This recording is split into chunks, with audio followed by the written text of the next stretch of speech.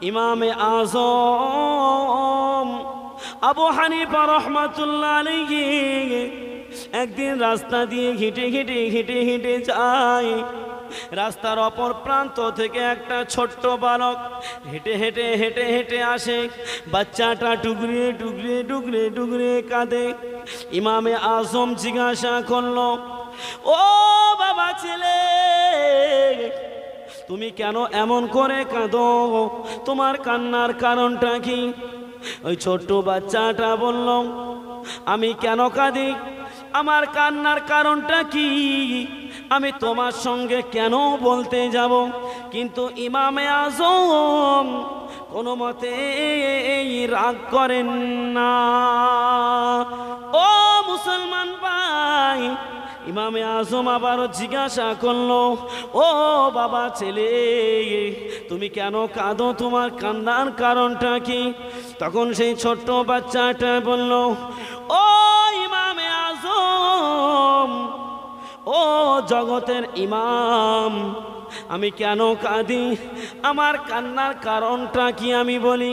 আমাদের আম্মা যান আমাদের আম্মা যান আমাদের খিদেটা নিবারণ করার জন্য, আমাদের ক্ষুদাটা নিবারণ করার জন্য, আমাদের আম্মা যান উনুনের উপরে হাঁড়ি চাপিয়ে দিয়ে পানি দিয়ে পানিটা ফোটাতে লাগবে। এমনও তো সময় আমাদের আম্মা যান যখন হাঁড়িটা উনুনের ভিতরে, যখন হাঁড়িটা উনুনের উপর চাপিয়ে একটা বড় কাঠ উনুনের ভিতরে দিল। বড় কাঠ দেওয়ার কারণে চুলোটা ধরল না, উনুনটা ধরল না। ইমামে আজমকে বলল, ও জগতের ইমাম, উনুনটা না ধরার কারণে আমাদের আম্মা যান। উনুনের ভিতরে থেকে বড় কাঠটা টেনে বার করে নিয়ে গে। আমাদের আম্মা যান ছোট্ট ছোট্ট কাঠের টুকরাগুলো যখন উনুনের ভিতরে দিয়ে জ্বালানো শুরু করল, দপ করে উনুনটা জ্বলে উঠল। ও ইমামে আজম, ও ইমামে আজম যখন এই কাঠটা জ্বলে উঠল, তখন আমার জাহান্নামার কথা মনে পড়ে গেল, জাহান্নামার কথা আমার স্মরণে পড়ে গেল। ও ইমামে আজম, আমি চিন্তা করলাম, হায় রে হাই দুনিয়ার জমিনে যদি বড় কাঠ দেওয়ার কারণে উনুনটা যদি না ধরে ছোট কাঠ দিলে যদি উনুনটা ধরে যায়, কাল কায়ামাতের দিন আমার আল্লাহ পাক রব্বুল আলামিন যদি আমাকে কোনো কারণবশত জাহান্নামায় দেয়, দেখা যাবে বড় বড় মানুষদেরকে দিলে জাহান্নামার আগুনটা যদি না ধরে, হয়তো আমাদের মতো ছোট্ট ছোট্ট বাচ্চাদেরকে দিয়ে হয়তো জাহান্নামার আগুন জ্বালানো শুরু করবে। ইমামে আজমকে বলল, ও জগতের ইমাম, আমি এই না কথা মনে করে আমার চোখের পানি গড়িয়ে যায় জোরে বলেন সুবাহান আল্লাহ সামান্য চুলোর কাঠ ধরছে না বলে ছোট কাঠ দিয়ে যখন চুলোটা ধরানো শুরু করল, আর যেই ধরে গেল, বড় কাঠ দিল। তার মনের ভিতরে কি চিন্তা চেতনা হলো? যে কায়ামাতের মাঠে যদি আল্লাহ পাক আমাদের মতন ছোট্ট ছোট্ট বাচ্চাদের দিয়ে জাহান্নামাটা যদি জ্বালানো স্টার্ট করে, তাহলে কি হবে? আমার আম্মা জানের ওই দৃশ্য দেখে আমাদের সেই জাহান্নামার কথা মনে পড়ে গিয়েছে। জাহান্নামার কথা স্মরণে পড়ে গিয়েছে। এই না কথা মনে করে আমি কাঁদছি। ইমামে আজম চিন্তা করল, এই ছোট্ট বাচ্চার মনে তাহলে কি চিন্তা চেতনা? আর আমাদের বয়স হয়ে গিয়েছে, আমাদের চুল পেকে গিয়েছে, এক পা কবরে আর এক পা ডেঙায় আমাদের চিন্তা চেতনা কি? আমাদের চিন্তা চেতনা কি? আমরা মনে করি যে মনে হয় আমরা মরে যাবার সঙ্গে সঙ্গে জান্নাতে ঢুকে যাব। তাই না? আচ্ছা জান্নাতটা কি খুব সহজ নাকি? হ্যাঁ? জান্নাতটা অত সহজ নয়। যারা মোমেন ব্যক্তি তাদের জন্য সহজ, আর যারা মোমেন নয়, তাদের জন্য কোনো রকম সহজ নয়। মুসলমান ভাই ও বাবাজি, আমার একটু শুনে রেখে দিন, জেনে রেখে দিন। ও আমার ভাই জানেরা আল্লাহ রাব্বুল আলামিনের জাহান্নামের আগুনকে কারা ভয় করেছিল? ইমামে আজম আবু হানিফা রহমাতুল্লাহ আলাইহি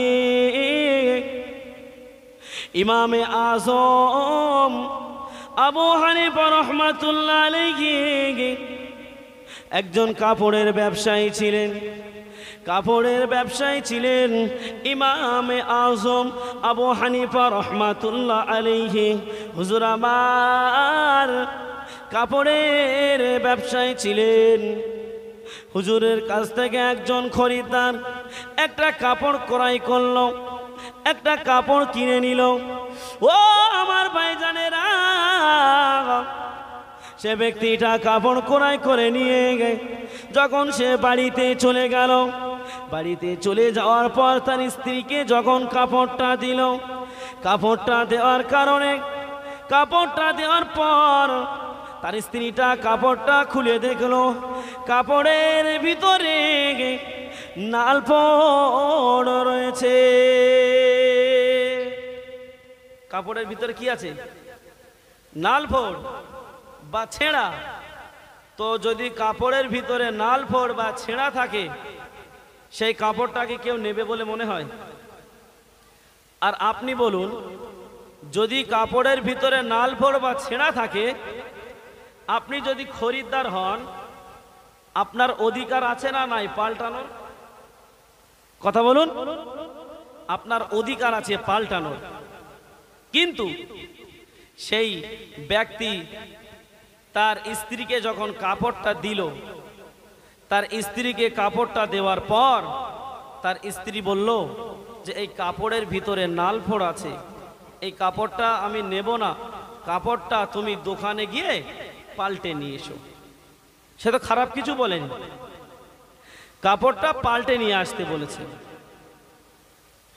ও আমার ভাই জানে না একটু শুনে রেখে দিন জেনে রেখে দিন ইমামে আজম আবু হানিফা রহমাতুল্লাহ সেই খরিদ্দারের কাছে যখন কাপড় বিক্রি করেছিল, খরিদ্দার বাড়িতে গিয়ে দেখল কাপড়ে নালফড় খরিদ্দার কাপড়টা রিটার্ন নিয়ে আসলো। ইমামে আজমের দোকানে ফেরত নিয়ে আসলো। ইমামে আজমকে বলল, ও জগতের ইমাম, এই কাপড়ের ভিতরে নাল পড় রয়েছে। নাল ফল থাকার কারণে আমার বাড়ির লোক আমার স্ত্রী এই কাপড়টা পাল্টে দিতে বলেছে।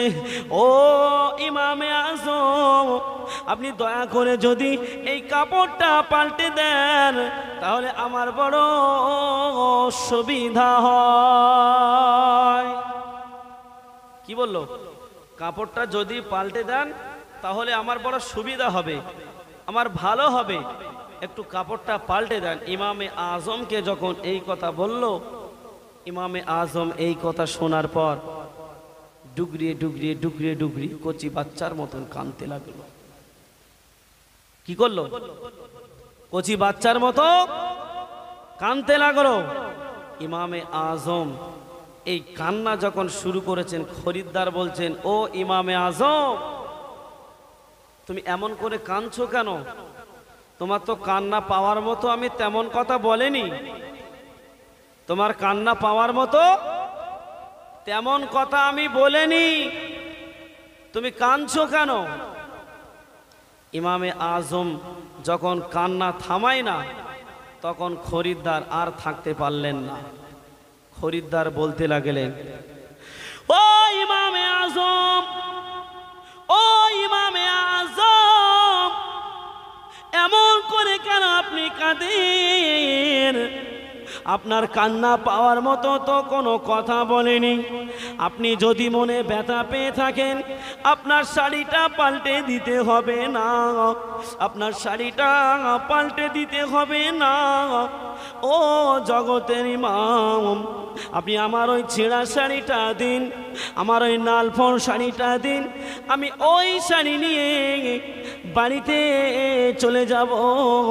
ও ইমামে আজম, তুমি তোমার কান্নাটা বন্ধ ইমামে ওই সময় বলল, ও বাবা খরিদ্দার, আমি তো ওই জন্য কাঁদি না। আমার কান্নার ভিতরে যথেষ্ট কারণ লুকিয়ে রয়েছে। কি কারণ লুকিয়ে রয়েছে? ইমামে আজম ইমামে আজম বলতে লাগলেন ও বাবা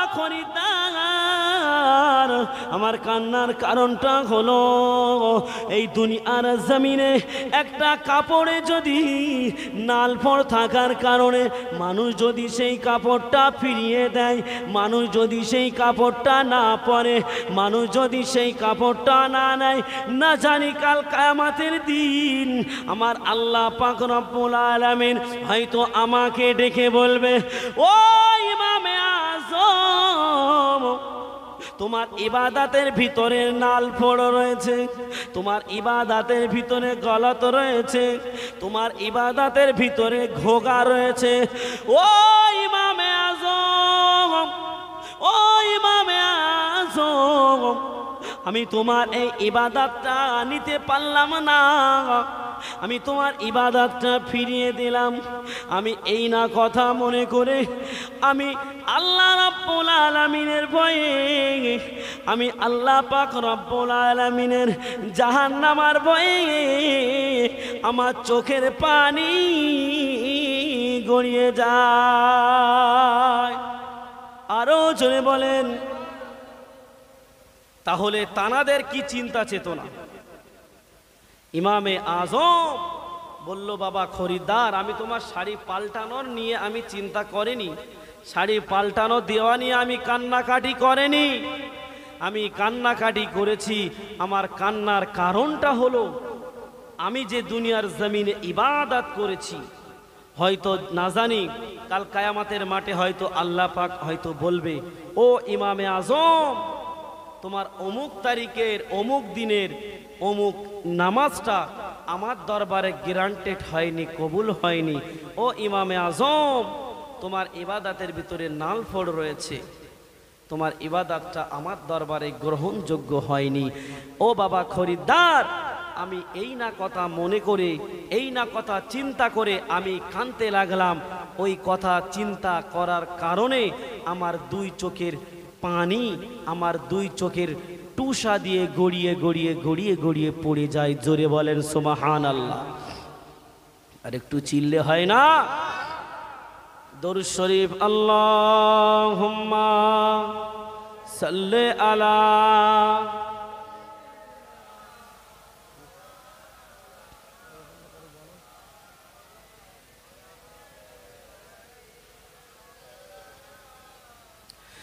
এতগুলো মানুষ একটু প্রাণ খুলে পড়েন না বাবা আল্লাহ সাল্লে আলা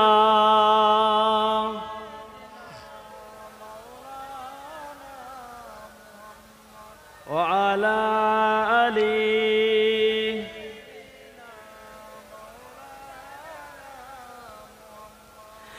जो नबी से मेरे आसना हो गया जो नबी से मेरे आसना हो गया, जो नबी से मेरे आसना हो गया, जो नबी से मेरे आसना हो गया, दिल के आईना होगा उसके आईना होगा, उसका दिल आईना आईना होगा। उसका दिल आईना आईना होगा। उसका दिल आईना आईना होगा। अल्लाहुम्मा सल्ले अला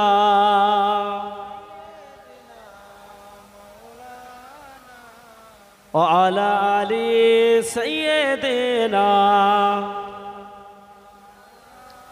जो नबी से मेरे आसना होगा उसका दिल आयना आयना होगा उसका दिल आयना आयना होगा कह रहा ہے خدا خود قرآن میں کہہ رہا ہے خدا خود قرآن میں کہہ رہا ہے خدا خود قرآن میں کہہ رہا ہے خدا خود قرآن میں जो नबी का हुआ, ओ मेरा हो गया। जो नबी का हुआ, ओ मेरा हो गया। जो नबी का हुआ, ओ मेरा हो गया।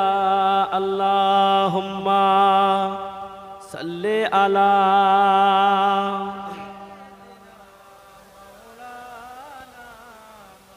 ओ आला आली सैद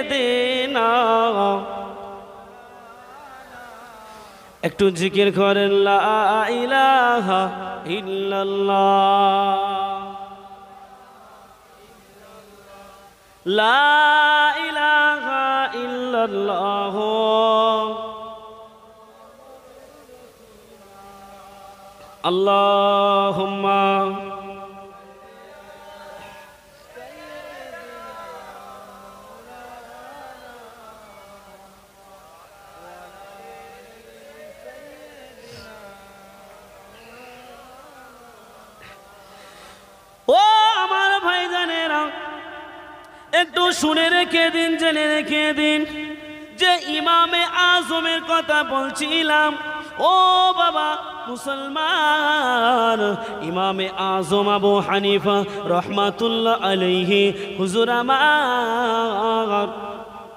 যে জায়গাতেই কবরস্থ হবে, যে জায়গাতেই দাফন কাফন করা হবে, ইমামে আজম আবু হানিফা রহমাতুল্লাহ আলাইহি, তানার যে জায়গায় দাফন কাফন করা হবে, যে জায়গাতে কবরস্থ করা হবে, ইমামে আজম তানার নিজের কবরস্থ করার জায়গাটা নির্ণয় করে নিয়েছিলেন।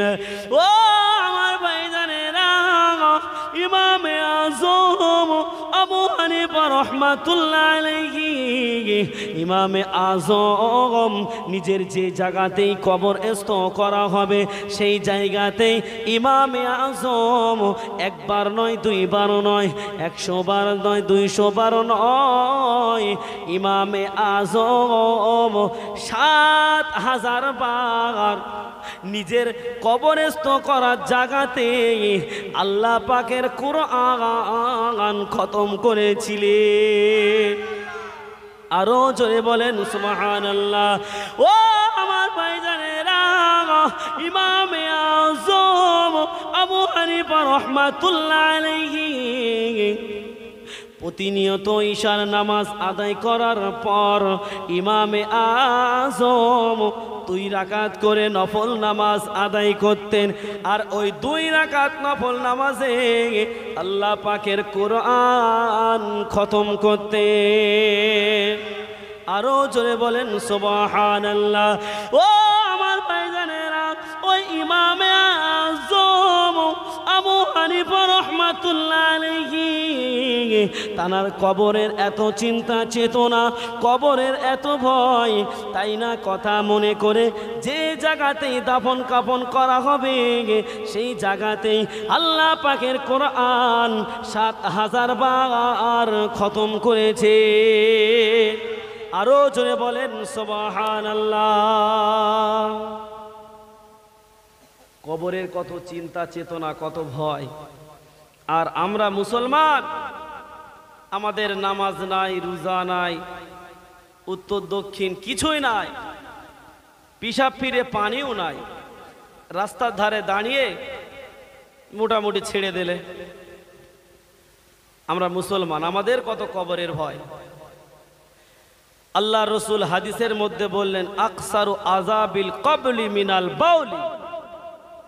অধিক অংশ কবরে মানুষের আজাব হয় পিসাপে ছিটা লাগার কারণে। অধিকাংশ কবরে আজাব হয় প্রস্রাপে ছিটা লাগার কারণে। আর আমরা কত আল্লাহ পাকের মানে অলি বান্দা, আমরা কত আল্লাহ পাকের মাহবুব বান্দা, রাস্তার ধারে দাঁড়াই, চেনটা খুলি, দাঁড়িয়ে কাজটা সেরে আবার ফের আমরা চলে যাই। তুমি মুসলমান, তোমার ভিতরে আর কুত্তার ভিতরে কোনো পার্থক্য থাকল? কথা বলুন। যে দাঁড়িয়ে পিসাব ফিরল, তার মধ্যে আর কুত্তার মধ্যে কোনো ডিফারেন্স হলো? আচ্ছা কুকুর কি বসে পিসাব করে না দাঁড়িয়ে? দাঁড়িয়ে ঠ্যাং উঁচু করে ঝাড়ে।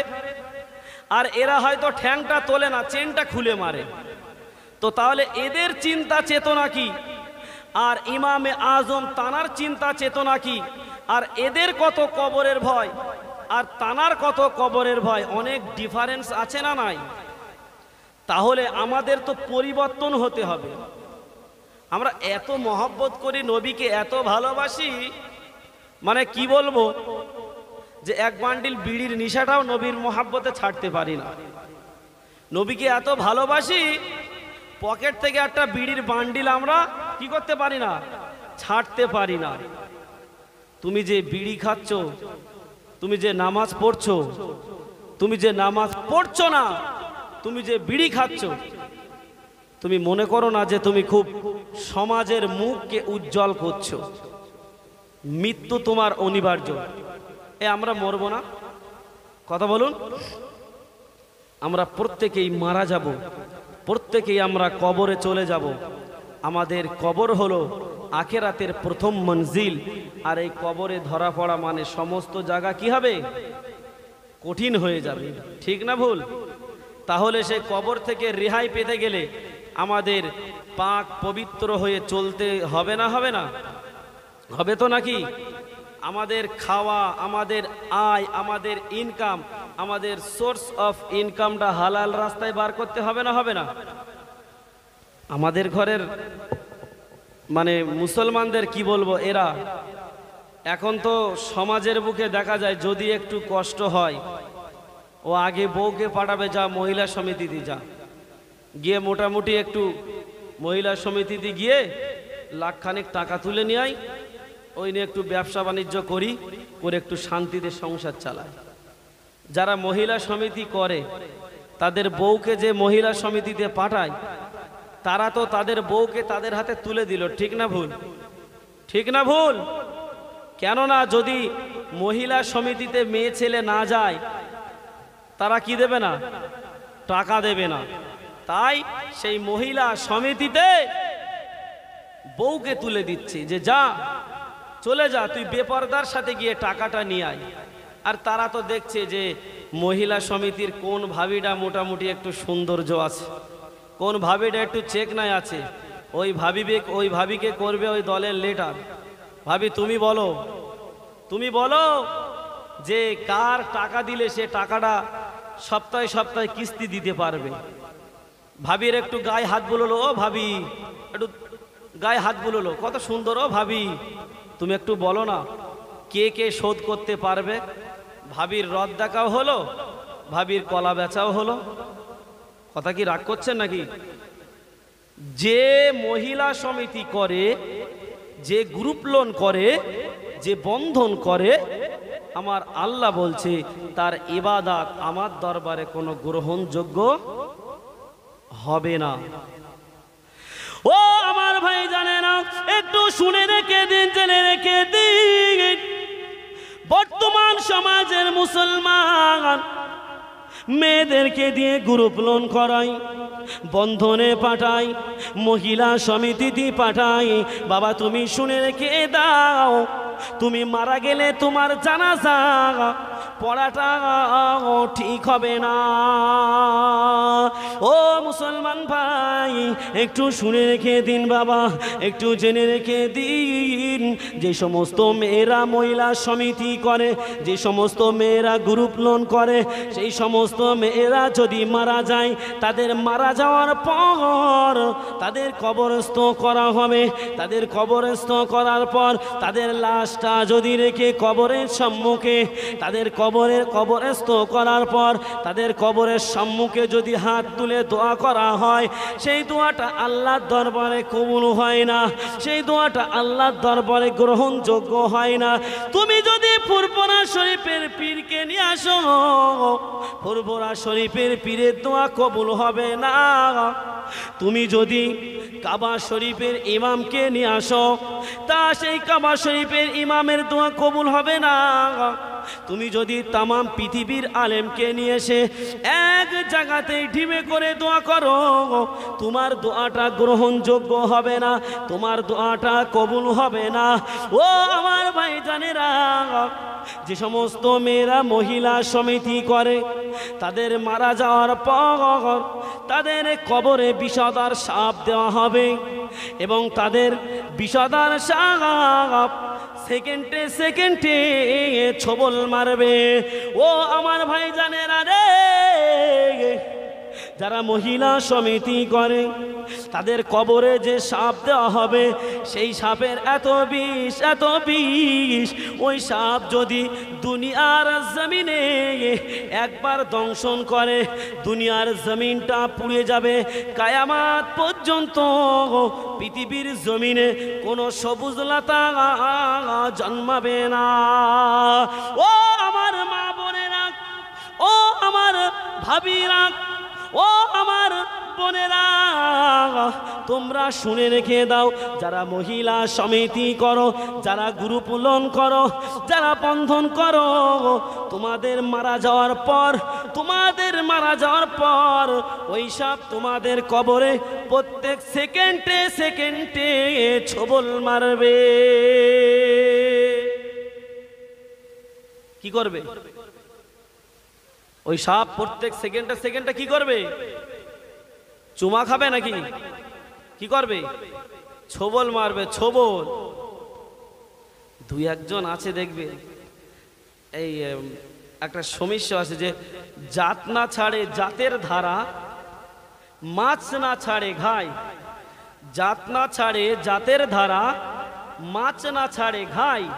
আর কুকুরের দাও গদির বিছানা, তবু না ছাড়ে ছাই। তাহলে জাত না ছাড়ে, জাতের ধারা মাছ না ছাড়ে ঘাই। কুকুরের দাও গদির বিছানা, তবু না ছাড়ে ছাই। এই মুসলমানের যতই তুমি তালিম দাও, যতই তুমি শরিয়াতের কথা বলো না কেন, ওরা সামনে, আসসালামু আলাইকুম। পেছনে দেখা যাচ্ছে সে পর্দা ফাঁকা। তার মানে কি? তুমি যতই জ্ঞান দাও, সামনে ঠিক আছি। আর যখন মাহফিল শেষ, বাড়ি চলে যাব। যেমন সুদ করছিলাম তেমন সুদ কর যেমন ঘুষ করছিলাম তেমন ঘুষ কর যেমন দোট ঠেলা ছিলাম, তেমন দোট ঠেলা যেমন আল ঠেলা ছিলাম, তেমন আল ঠেলা তাহলে আপনি যেমন, তেমনটাই যদি থাকেন, তাহলে আপনারও কিন্তু পরিণতি কায়ামাতের মাঠে ভয়াবহ হবে না হবে না। মুসলমান ঘরের ছেলে মেয়েরা নৌজোয়ান তরুণেরা ও নবী পাকের আল্লাহ পাক রব্বুল আলামিন কালকে আমাদের কঠিন দিনে যারা দুনিয়ার জমিনে মহিলা সমিতি করতে তাদের স্ত্রীদেরকে পাঠিয়েছিল, আর তারা যে বাড়িতে বসে বসে মহিলা সমিতির টাকাটা খেয়েছিল। ও আমার ভাই জানেরা, তবে তুমি শুনে রাখো, তুমি যখন মারা যাবে, তুমি যখন মরে যাবে, তুমি যখন মারা যাবে, তোমার মারা যাওয়ার পর কাল কায়ামতের দিনে আমার আল্লাহ পাক রব্বুল আলামিন তোমাদের পেটগুলো গর্ভবতী মায়েদের মতো উঁচু করে দেবে। যারা মহিলা সমিতি করতে বউদেরকে পাঠিয়েছিল, স্ত্রীদেরকে পাঠিয়েছিল, ওই স্ত্রীদের টাকা নিয়ে তারা যে খেয়েছিল, ভোগ করেছিল, ওই সমস্ত বেটা ছেলেদের পরিণতি কি হচ্ছে একটু শুনি দেখুন। মহিলা সমিতি করা সেই সমস্ত পুরুষদের পেটগুলো গর্ভবতী মায়েদের মতো উঁচু হবে। তাদের পেটের চামড়াগুলো ফিরফিরে পাতলা হবে। তাদের পেটের ভিতরে আমার আল্লাহ পাক আল্লাহ তালা বিষদার সাপ দিয়ে দেবে। তাদের পেটের ভিতরে বিষদার সাপ দংশন করতে থাকবে।